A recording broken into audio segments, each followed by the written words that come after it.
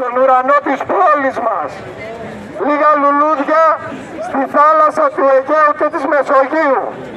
Με αυτόν τον τρόπο τιμούμε τους χιλιάδες ξεριζωμένους που προσπαθώντας να φτάσουν σε μια καλύτερη γη, προσπαθώντας να ξεφύγουν από τη φτώχεια και τις βόμβες, βρήκανε τραγικό θάνατο στη Μεσόγειο. Τους δίνουμε όρκο, συνεχίζουμε και κλιμακώνουμε να είναι οι τελευταίοι. Τα εργατικά σωματεία, οι φορείς της πόλης, όλος ο λαός της Θεσσαλονίκης να πει μπροστά, να προστατεύσει τους πρόσφυγες, να παλέψει για τα δικαιώματά τους. Όπια!